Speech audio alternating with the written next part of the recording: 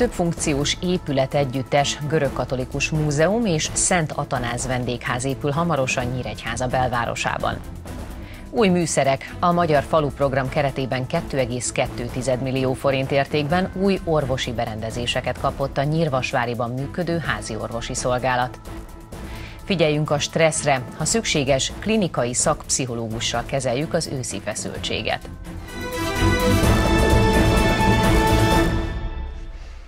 Másfél milliárd forintos beruházásnak köszönhetően új otthont kap a közeljövőben az Egyházművészeti Gyűjtemény. Ez a Kölcsei Televízió híradója. Üdvözlöm Önöket! A Nyíregyháza belvárosában megépülő görögkatolikus múzeum célja, hogy az egyházi kultúra kutatása, bemutatása és megőrzése mellett új közösségi szintere is legyen a városnak és a térségnek, alternatívát nyújtva nem csak a vallásos embereknek. Jelenleg föld és sár borítja a Nyíregyházi Görög Katolikus Hittudományi Főiskola szomszédságában lévő üres táket, mint azonban a makett is mutatja, hamarosan egy új több funkciós épület együttes nő ki a földből ezen a területen. Múzeum alapítását határozták el. Az emlékokirat felolvasásával kezdődött el péntek délután az a szertartás, amelyen aztán megáldották és letették a Görög Katolikus Múzeum és Szent Atanáz vendégház alapkövét. A létesítmény a kultúra közvetítés, valamint örökségvédelem mellett a tudományos kutatást és az oktatást kívánja szolgálni, segítve erősítve a főiskola működését modern keretek között. Mindaz, ami a miénk, amiből élünk, ami, ami számunkra érték, amit mi kaptunk, azt úgy tudjuk felhasználni, hogy azon keresztül az egyház küldetését tudjuk teljesíteni. Az egyháznak pedig az a küldetés, hogy az Istenhöz közel vigyük az embereket. Mondanám úgy, hogy az Istent közel vigyük az emberekhöz, de ez nem így van, mert az Isten közel van az emberekhöz. Csak mi nem ismerjük föl. És az egyháznak az a munkája, hogy, hogy erre rámutasson, hogy mennyi mindent kaptunk az Istentől. A közel 2000 négyzetméteres alapterületen kiállító és közösségi terek, Raktárak és restaurátor műhely, valamint egy múzeumi adattár is helyet kap majd három szinten, ahogy ide költözik majd az 1981-ben alapított egyházművészeti gyűjtemény is, amely jelenleg nem látogatható. Ez a gyűjtemény a 17. század elejétől kezdődően egészen napjainkig mutat be egyházművészeti alkotásokat, elsősorban ikonokat, festményeket, liturgikus tárgyakat, mindazt, amit a keleti liturgiában, a templomban használunk ötvös tárgyakat, textileket, fából készült tárgyakat, és a keleti liturgia sajátos szokásrendjéhez kapcsolódó tárgyakat. A szakmai vezető szerint azok számára is izgalmasak, érdekesek lehetnek ezek, akik nem görög katolikusok. Ugyanígy a múzeum nyitott befogadni mindazokat a kortárs művészeti reflexiókat is, amelyeket a keleti egyház inspirál. Nagy örömmel jöttem Nyíregyházára, az ünnepségen a koordinációs ügyekért felelős helyettes államtitkár kiemelte, éves szinten mintegy 100 milliárd forinttal támogatják a hitéleti tevékenységet, egyház építkezéseket és örökségvédelmet lévén az egyházak fontos partnerei a kormánynak. Ha azt nézzük, hogy hazánk történetében a történelmi egyházak fontos erkölcsi, világnézeti e, szerepet töltöttek be, mint egy vezérfonarként szolgáltak, e, úgy ezt a feladatot a jövőben is szeretnénk, hogy az egyházak ellássák Magyarországon. Kiemelt prioritás a politikánkban a családok támogatása, és a családok támogatásának egyik fontos pillére a hagyományos családmodell támogatása és propagálása, amelyet az egyházak ugyancsak tesznek, az egyházak ugyancsak biztosítanak az állampolgárok számára. A több mint másfél milliárd forintos beruházást 1,2 milliárddal támogatta a kormány. A Balázs Mihály által tervezett komplexum új színfoltja lehet a város és a régió kulturális és közösségi életének, egyúttal turisztikai jelentőséggel is bírhat. A Görög Katolikus Múzeum a tervek szerint 2022-ben nyithatja meg kapuit a látogatók előtt. Több mint két millió forint értékben új orvosi műszereket kapott a Nyírvasváriban működő házi orvosi szolgálat a Magyar Falu program keretében. Az átadás alkalmával bronz emlékéremmel jutalmazták dr. Kovács Ildikót, aki egyedüli házi orvosként 50 éve dolgozik a községben. Nem is tudtam tegnap a kollégáim és ők köszöntöttek fel. Én nem is gondoltam rá. Másnap aztán már a Szabolcs-Szatmár-Bereg megyei közgyűlés elnöke is elismerte dr. Kovács Ildikó munkáját, aki fél évszázada 1970. október 1-től házi orvosa Nyírvasvárinak. Sesták Oszkár köszöntőjében kiemelte, a járványhelyzet valamennyi településen nagy terhet jelent az egészségügyi alapellátásnak, így a szakmai tudás mellett az élettapasztalatnak is nagy jelentősége van. Az pedig, hogy 50 éve egy szolgálti helyen doktornő teljesíti a hivatását. Ez egy olyan alkalom, amire köszönöm szépen, hogy felhívta e, polgármester úr képviselő úr a figyelmünket, figyelmemet, és ilyen módon a megyei közgyűlés bronz emlékplakettjével tudtuk megköszönni e, doktornőnek azt a törődést, e, odafigyelést, amit a közösségért végzett. Több generáció is felnőtt az ő gondoskodó kezei alatt, és hát a munkatársairól sem feledkezhetünk meg, hiszen ők is több évszede teljesítik hivatásukat. Ez mindenféleképpen olyan alkalom, ami elismerésre érdemes.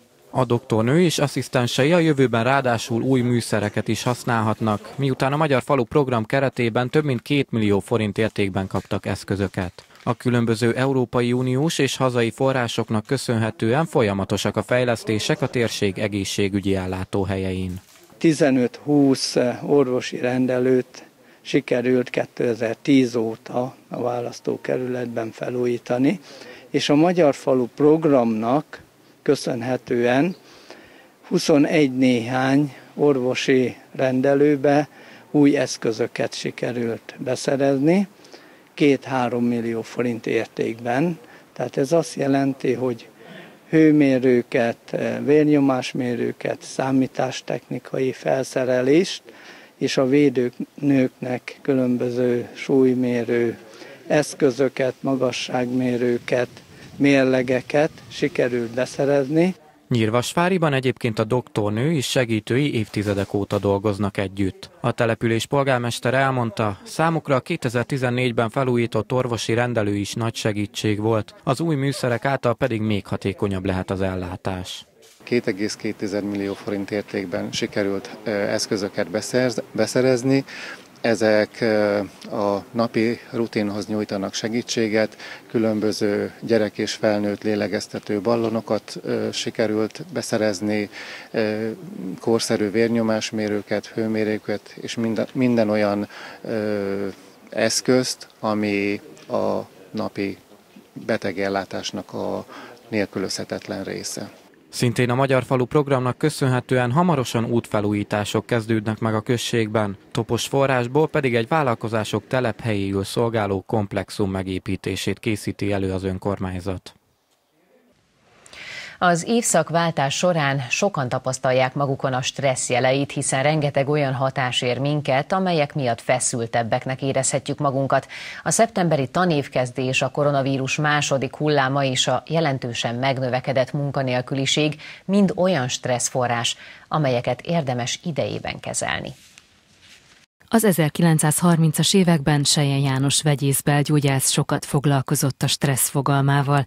Elmélete Amerikában és Kanadában nem csak a főiskolákon és egyetemeken, hanem még a középiskolák jelentős részében is tananyag. Felismerte, hogy előnyünkre fordíthatjuk azt, amit először kihívásként éltünk meg. A stressz az élet súlya, az ellentéte pedig a halál.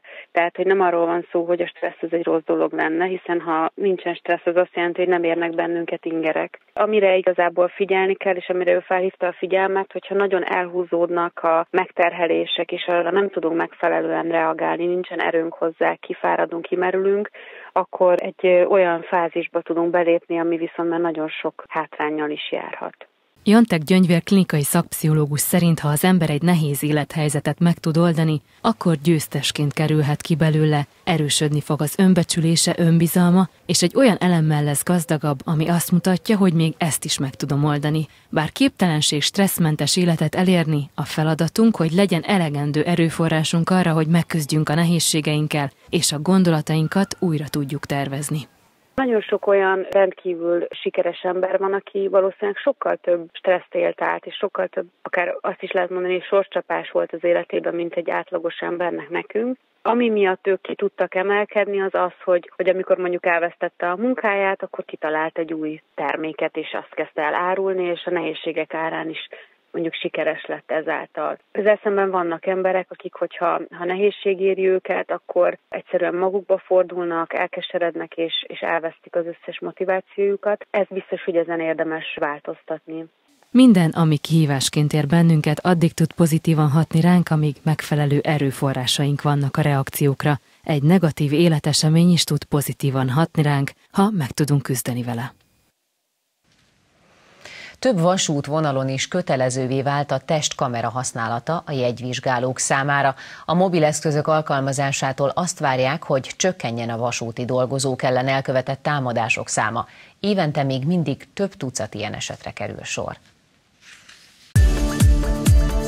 Ezen a kisfilmjével toborzott jegyvizsgálókat a közelmúltban a MÁV. A mindenki által csak kalauzként hívott dolgozók munkája változatos, ugyanakkor nem fenékig tej fel. Egyre többen bántalmazzák őket, ami összefügg az elmúlt időszakban kötelezővé vált maszk használattal. Ez ugyanis egy újabb konfliktus lehetőséget teremt köztük és az utasok között. A támadások kivédésére nemrég napi közel 250 vonaton tették a jegyvizsgáló költözetének elengedhetetlen részévé a testkamerákat, amelyek rögzíthetik az ilyen eseteket. Néhány hete a megyéből a főváros felé tartó utazók is találkozhatnak mobilkamerát viselő kalauzokkal. Budapest elővárosában napi 250 vonaton mindenképpen hordaniuk kell a jegyvizsgálóknak a testkamerákat, és ezeknél a vonatoknál nem az ő szabad döntésük lesz az, hogy a szolgálat elején felveszik-e ezt a kamerát, vagy nem. A térség utazóit esetleg annyiban érintheti, hogy Szolnok és Budapest között lesznek olyan jegyvizsgálók, akiken mindenképp lesz testkamera. A tervek szerint évvégéig a záhonyba közlekedő vonatokon is lesznek testkamerás vasutasok. Azt, hogy mikor és mely vonalakon muszáj viselniük a kütyüket a kalauzoknak, célzottan választják ki. Nagyon egyértelműek a statisztikák, ezek segítenek abban, hogy megelőzzük a további bántalmazásokat.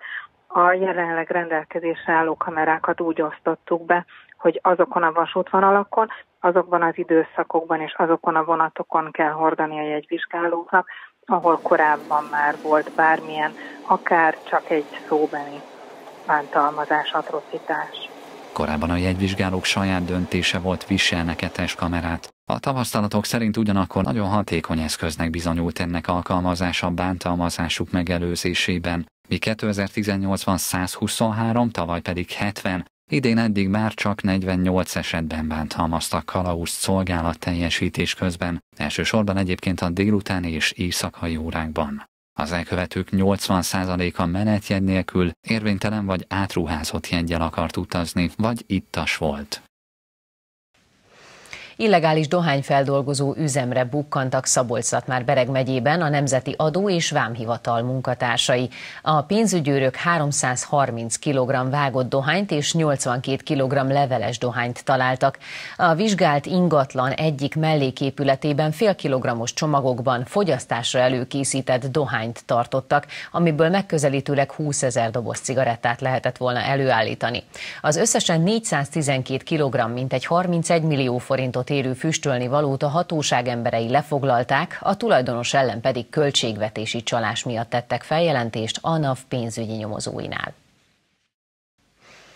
Az ittasság, a biztonsági öv használatának elmulasztása és a gyorshajtás.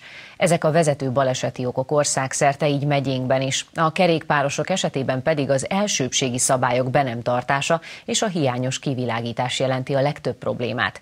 Ezekre is felhívták a figyelmet szombaton a közlekedés biztonsági családi versenyen.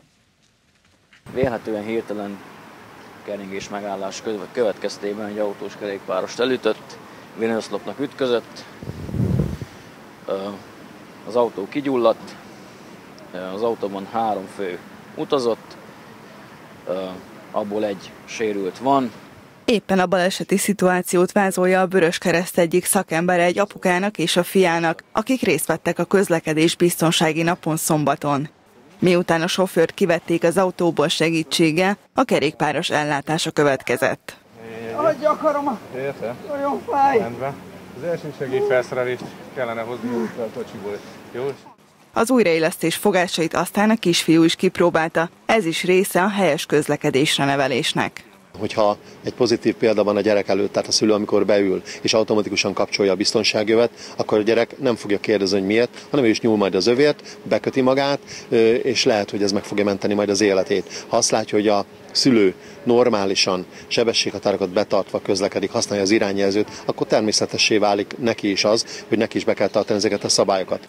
A biztonságos autós közlekedés sok összetevőből áll, ezért akár a tolatva szlalomozást is kipróbálhatták a szülők. A gyerekek pedig a biztonságos kerékpározást gyakorolhatták egy ügyességi pályán, hiszen nem csak a szülők tudnak jó példát mutatni, a nagyobb gyerek is taníthatja a kistesóját. Hogyha majd lesz ilyen sebességváltós biciklije, akkor ö, ne, amikor áll, ne akkor váltsa át a sebességet. Meg hogy ne menjen olyan gyorsan, mert elcsúszhat kavicsokon, mert egyszer el is csúszott, de én is elcsúsztam közben, de ezeket szeretném neki megtanítani. Ez az egyik legfontosabb, de emellett számos más veszélyes szituációval találkoznak nap mint nap a rendőrök. Kerékpárosoknál ö, általában kanyarodási szabályok szoktak ö, problémát okozni, amikor balra nagy évben valamilyen jármű elébe kanyarodnak. Az elsőbségi szabályok szoktak még fontosak lenni, hiszen behajtanak a kereszteződésbe meggondolatlanul, gondolván, hogy ő jobbra évbe kanyarodik, mindegy, hogy jön az autó balról vagy nem, ő el fog majd mellette férni, ez nem mindig sikerül. És egy nyilvánvalóan sláger téma az, amikor a kivilágítatlan kerékpáros nem látható az úton. Székszai Tihamér hozzátette, ez utóbbiból egyre kevesebb van. Úgy tapasztalják, kezd beérni az elmúlt évek kampánya. A közlekedés biztonsági nap egyben verseny is volt, a legügyesebb család a döntőbe kerülhet, amelyet idén Szabolcs-Szatmárbereg és Hajdubihar megye rendez majd.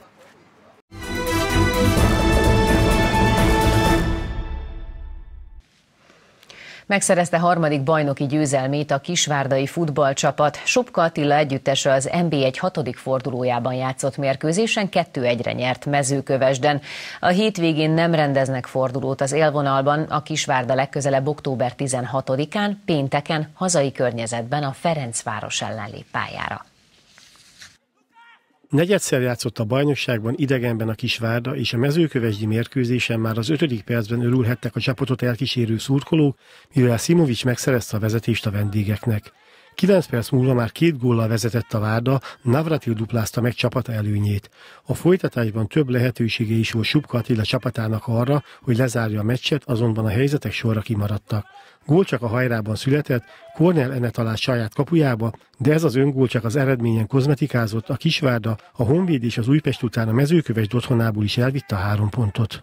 Ugye csak idegenben játszottunk, ugye egy meccsünk volt itthon a Puskás ami nem úgy sikerült, hogy szerettük volna. A mezőkövesdel kapcsolatban tudtuk nagyon jól, hogy egy átalakuló félben levő csapat, és próbálnak le játékrendszert játszani, amiből az elmúlt időszakban a 3-5-2-es rendszer volt, ami minden pályára léptek az ellenfelek ellen, erre készültünk, és én úgy gondolom, hogy ezt a feladatot az első fél időben nagyon jól megoldottuk, mert azokból a szituációkból, amiket előre legyakoroltunk, megbeszéltünk a játékosokkal, tudtunk gólt, gólokat szerezni. Azt gondoltam, hogy még tudunk rúgni gólt, gólokat, mert megvoltak a lehetőségeink. Ugye az első fél időben is rengeteg olyan szituáció volt még, amiből eldönthettük volna a mérkőzést, második félidő elején volt egy kis problémánk, amikor átálltak egy 4 4 es játékrendszerre, akkor nehezen vettük fel velük a ritmust, és utána viszont én úgy gondolom megint volt két-három olyan szituáció, hogyha az utolsó passzoknál megfelelően koncentrálunk, akkor meg tudtuk volna, vagy pontosabban el tudtuk volna dönteni a meccset,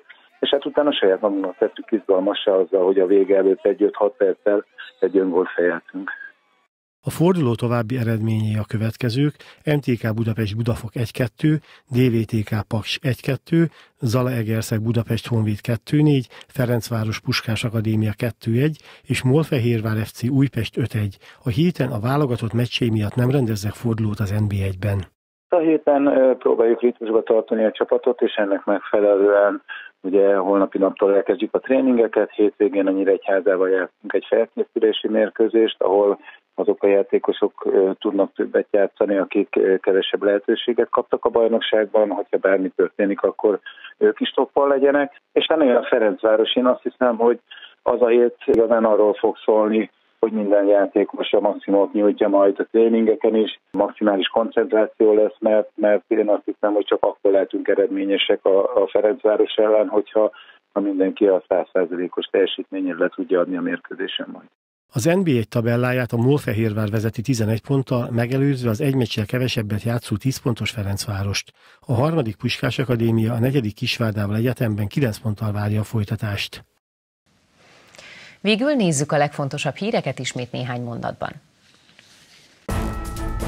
Új otthont kap a közeljövőben az Egyházművészeti Gyűjtemény. A Nyíregyháza belvárosában több mint másfél milliárd forintból megépülő görögkatolikus múzeum és Szent Atanáz vendégház célja, hogy az egyházi kultúra kutatása, bemutatása és megőrzése mellett új közösségi színtere is legyen a városnak és a térségnek, alternatívát nyújtva nem csak a vallásos embereknek. A komplexum a tervek szerint 2022-re készül el.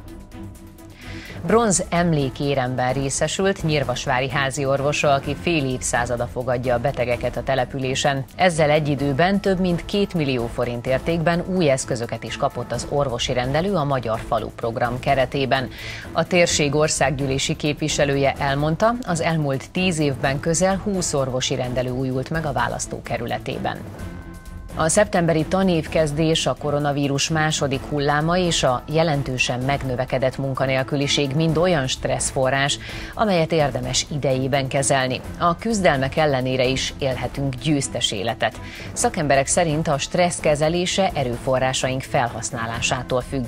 A gondolkodásunk újra tervezésével egyensúlyt tudunk teremteni önmagunkban és a környezetünkben is.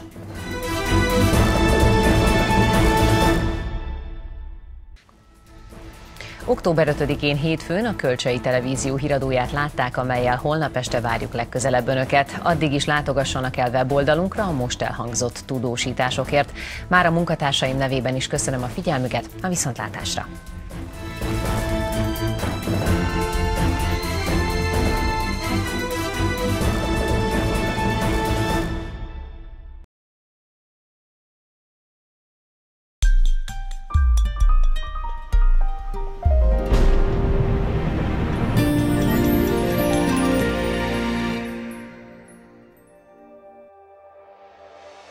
Éjjel eleinte változóan, majd többnyire erősen felhős lesz az ég. Délutántól zápor valószínű. Helyenként zivatar, heves zivatar is kialakulhat. A délnyugati szél megélénkül, helyenként megerősödik. A legalacsonyabb éjszakai hőmérséklet 10-15 fok között alakul.